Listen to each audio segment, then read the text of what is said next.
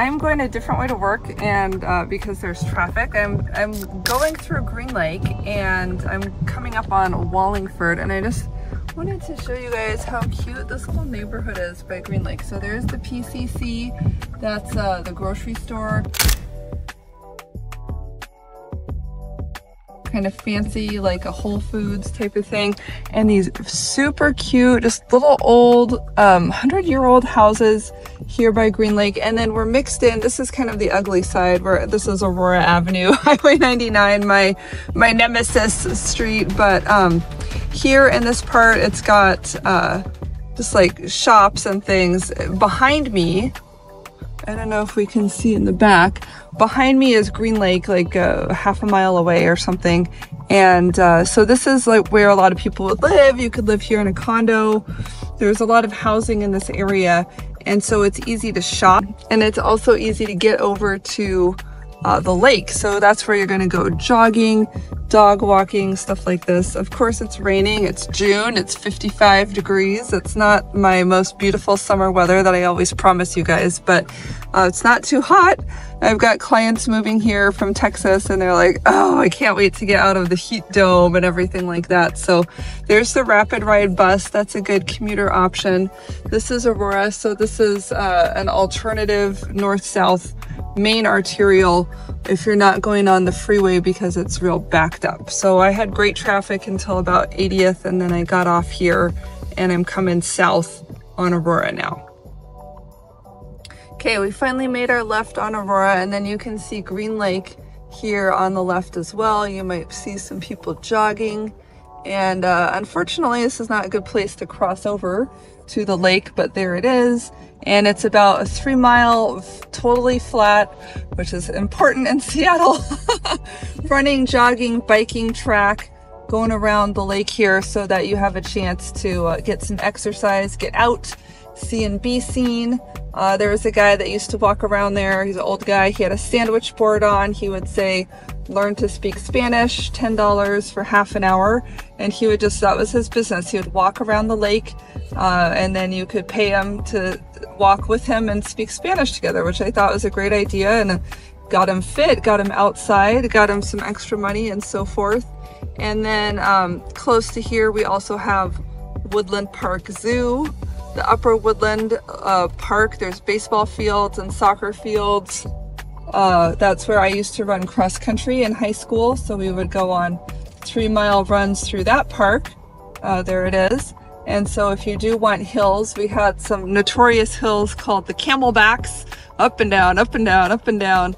Uh, so you can definitely get a hill workout pretty much any place. You see the little flags for the animals and stuff at the zoo. Any place that you want to go in Seattle, you can get a hill workout unless I specifically tell you this is a flat place you can go.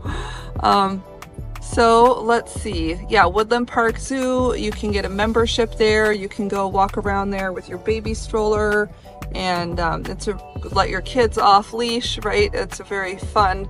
Um, a lot of people here in sort of Green Lake, Phinney Ridge, Wallingford like to do that if they're like a stay-at-home mom or something.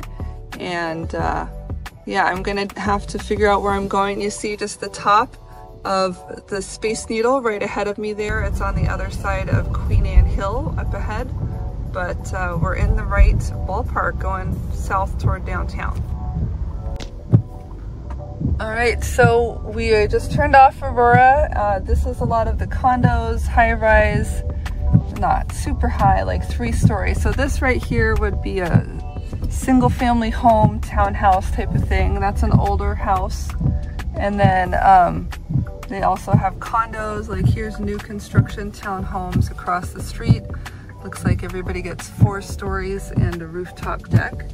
And here's one of my favorite little murals in this underpass area. So uh, just kind of getting the idea of the old and new, the juxtaposition.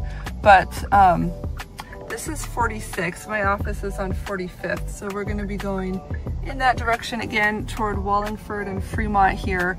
And in this area, we're also starting to get fairly close to the University of Washington, which is on the east side. I'm always like northwest, east. Yeah, the east side of I-5 at 45th. So you'll start to see more people who are like college students affiliated with the university um, walking around as we get, we're on the west side of I-5 right now, but when we get to the east side of I-5, which we won't on this trip, but this is kind of the latitude that you'd be at, to expect to see the college honeys, male and female.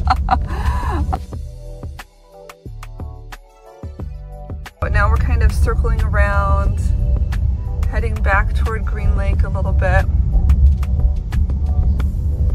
Woodland Park, new townhomes. You can really pretty much tell what's old and what's new. There's a off the wall school of music. So cool. Um, ah. There's a lot of stuff that's cool here around the 45ths. My name is Emily. I'm so glad that you took a few moments to watch this video and really get a feel for what it is like in this neighborhood. Feel free to hit me up on my website, homeproassociates.com. I'm here to help and looking forward to connect with you. Until then, I'll see you on the next video.